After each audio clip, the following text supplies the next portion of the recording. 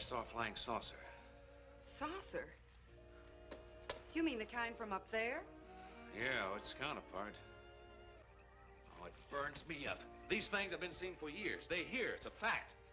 And the public ought to know about it. There must be something more you can do about it. Only there isn't. Oh, but what's the use of making a fuss? But last night I saw a flying object that couldn't have possibly been from this planet. But I can't say a word. I'm muzzled by army brass. I can't even admit I saw the thing.